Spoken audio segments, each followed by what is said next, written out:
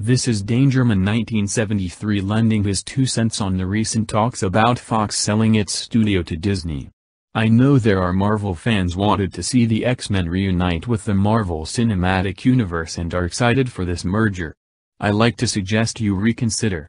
The X-Men movies are known for their grittier and more freer subject matter of racism and civil rights for the franchise's mutants and have more creative freedom with their R-rated entries like Logan and Deadpool. The MCU is notorious for their jokey, light-hearted tone and family-friendly Disney image, where the racial overtones of the X-verse will be drastically toned down, making them jokier, less serious and unrecognizable. Plus due to Disney's no-smoking policy in their movies, the X-Men will be watered down from the edge than their fans love them for. Also, there will be serious creative and monopolistic consequences if the merger takes place.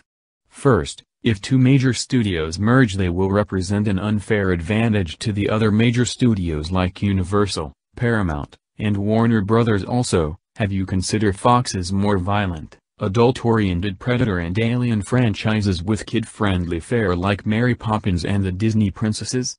I don't think so. I urged it to stop this merger before these consequences will happen, forever altering the course of the entertainment industry for the worse.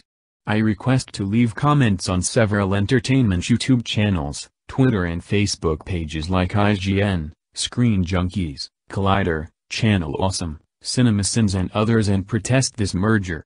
Dangerman out.